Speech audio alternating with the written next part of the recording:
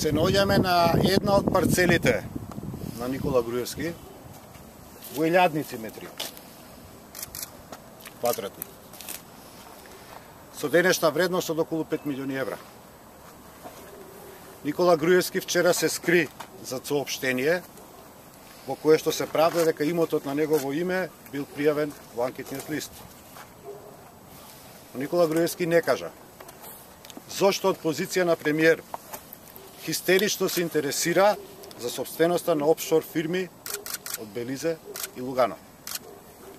Што го интересирало Груевски, каков и колкав простор ќе добијат овие фирми, па за тоа секојдневно да го напнува на Киевски. Како може управители на овие фирми да бидат луѓе блиски до Никола Груевски? Неговиот кум, кој патем кажано се уште се наоѓа на високи јавни функции, или, например, бизнис партнер на неговата фамилија. Со кои и со какви пари се купени овие парцели.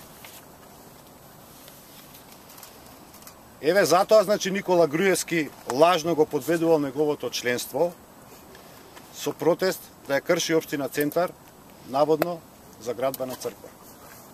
Затоа братучедот Мијалков договорал нудење подкуп на советници со цел да го добијат мнозинството во Советот.